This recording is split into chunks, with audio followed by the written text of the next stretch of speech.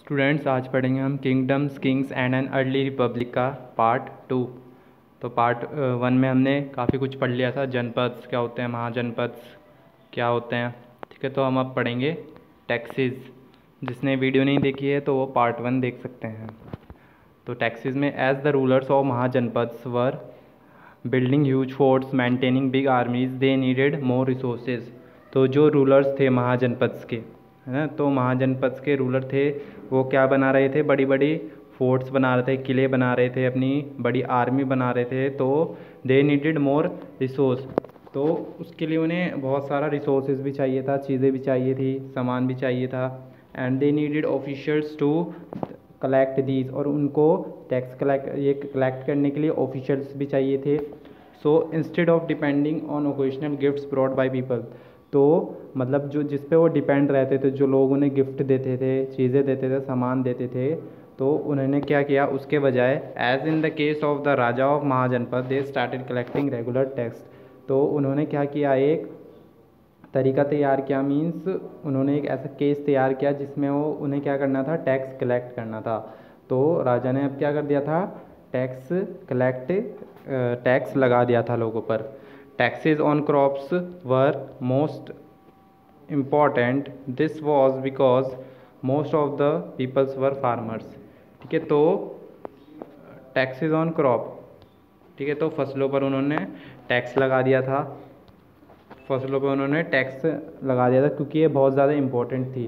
क्योंकि इंडिया में ज़्यादातर लोग पहले क्या थे? फार्मर्स थे मोस्ट ऑफ़ द पीपल ज़्यादातर लोग फार्मर थे और जो टैक्स कलेक्ट होता था, वो वन सिक्स कलेक्ट होता था, जो भी प्रोड्यूस होता था एग्रीकल्चर से। मींस अगर हंड्रेड परसेंट है तो हंड्रेड परसेंट का वन सिक्स परसेंट निकालेंगे तो वन सिक्स पार्ट कितना आएगा आपका? Six one six and six six लगभग sixteen percent sixteen percent tax किससे कलेक्ट किया जाता था आपका? एग्रीकल्चर से। This was known as the bhag of the share ठीक है तो इसे क्या बोलते थे वो? भाग या फिर शेयर जो टैक्स से टैक्स कलेक्ट होता था उन्हें एग्रीकल्चर से। ठीक है? तो भाग बोलते थे। भाग मीन्स हिस्सा, है ना? There were tax on craft person as well ठीक है? जो क्राफ्ट पर्सन थे, जो लोग काम करते थे, मटका वगैरह बनाते थे these could have been in the form of labour तो इन्हें लेबर की तरह यूज़ करते थे वो।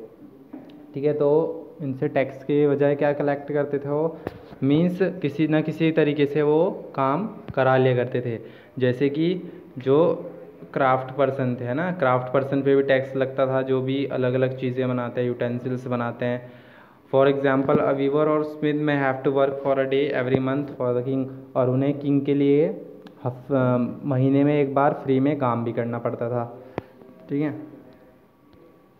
Herders were also expected to pay taxes जो हर्डर्स थे, चरवैये थे, जो अपनी गाय वगैरह, बकरी वगैरह चराते थे तो उन्हें भी क्या उनके ऊपर भी टैक्स लगता था। ठीक है? किसकी फॉर्म में? या तो उनसे जानवर लेते थे, या फिर जो भी उनसे घी बटर मिल्क है ना, दूध वगैरह जो उनके प्रोडक्ट्स होते थे उनसे टैक्स लिया करते थे वो। ठीक है? अब next there were also taxes on goods that were brought and sold through trade और जो व्यापार के थ्रू जो सामान आता था, लाया जाता था, बेचा जाता था, उस पर भी टैक्स लगाया जाता था। And hunters and gatherer also had to provide forest produce to the raja. और जो हंटर गैदरर्स थे हंटर गैदरर मीन्स जो अपना सामान इकट्ठा करके, अपना रोज़मर्रा की चलाते थे, फल वगैरह इकट्ठा करके, उन्हें भी जो फॉरेस्ट से सामान मिलता था, है ना? तो टैक्स की फॉर्म में देना पड़ता था हंटर गैदरर्स को भी। ठीक है? अभी देखिए चेंज इन एग्रीकल्चर एग्रीकल्चर में क्या बदलाव आया? There were two major change in the agriculture तो दो मेजर चेंज आए थे एग्रीकल्चर में उस टाइम पर. एक क्या था आपका? One was the growing use of the iron plough share ठीक है, जिससे आपके हल हल हो गए. पहले लकड़ी के हल, लकड़ी के हल थे. तो लकड़ी के हल की जगह क्या आ गया था अब? आयरन प्लग शेयर ठीक है तो अब आयरन के वो प्लग आयरन के हल का इस्तेमाल करना शुरू कर दिया था उस वक्त. This means that heavy clay soil should be turned over better than with the plug share. तो इससे क्या होता था? मिट्टी जो है, ज़्यादा अच्छे से निकल पाती थी अंदर से।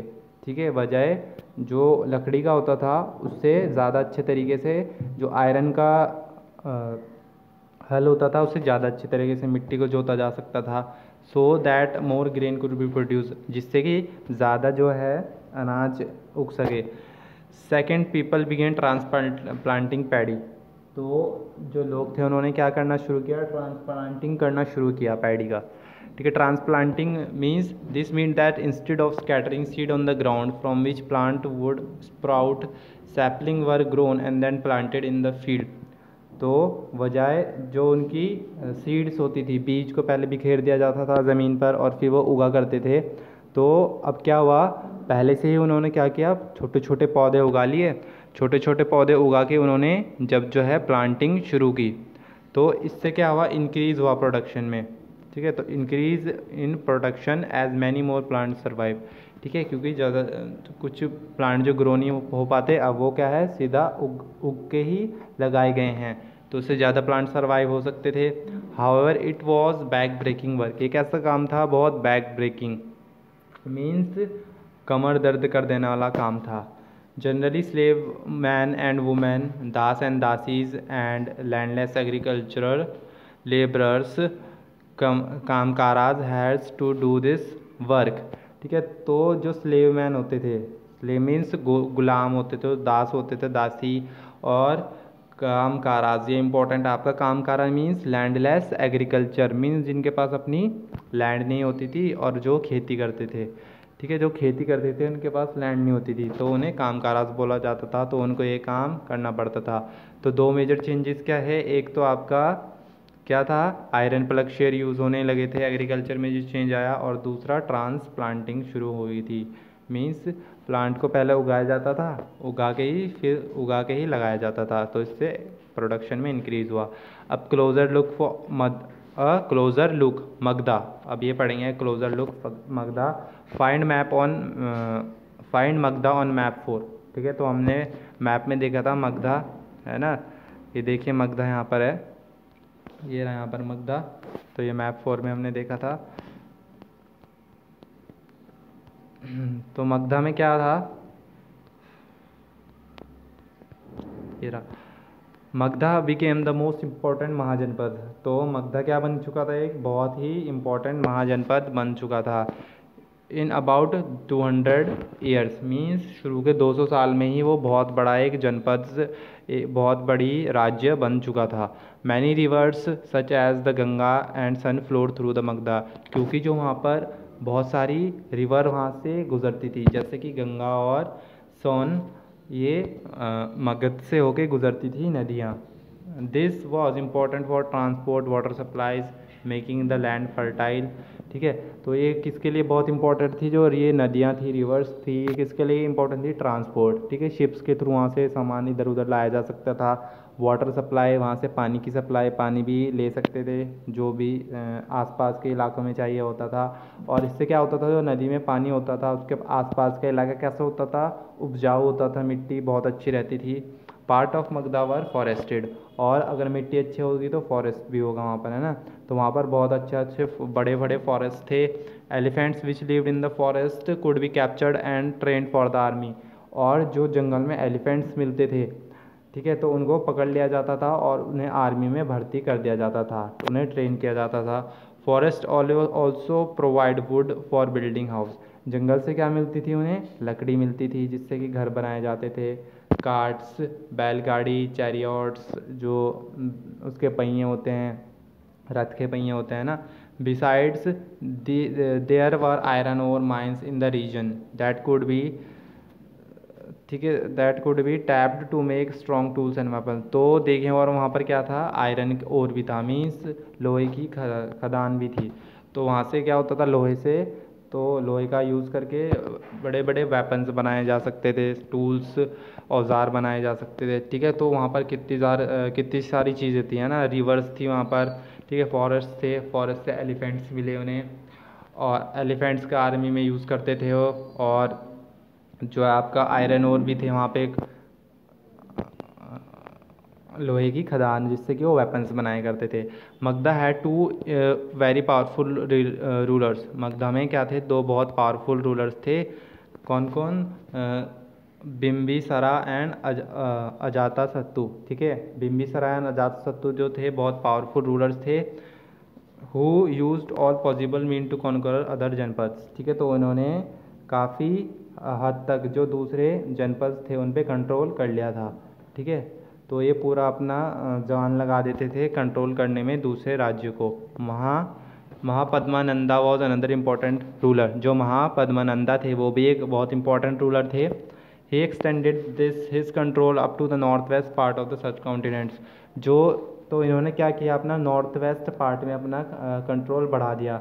मीन्स जो ये राजस्थान और पंजाब वाला रीजन है ठीक है तो यहाँ पर देखिए मीन्स इन्होंने बिहार से और जो ये राजस्थान, पंजाब वाला रीजन है, इस पर कब्ज़ा कर लिया था।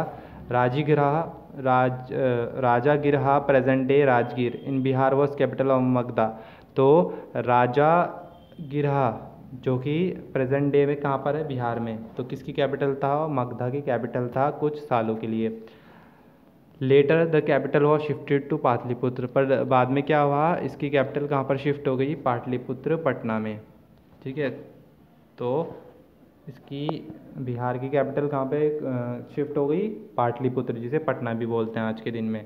More than twenty three hundred years ago ruler named Alexander who lived in Macedonia in Europe wanted to become the world conqueror ठीक है? तो आज से दो हज़ार तीन सौ साल पहले एक रूलर थे जिनका नाम क्या था? एलेक्जेंडर ठीक है? तो वो मैकाडोनिया में रहते थे यूरोप में।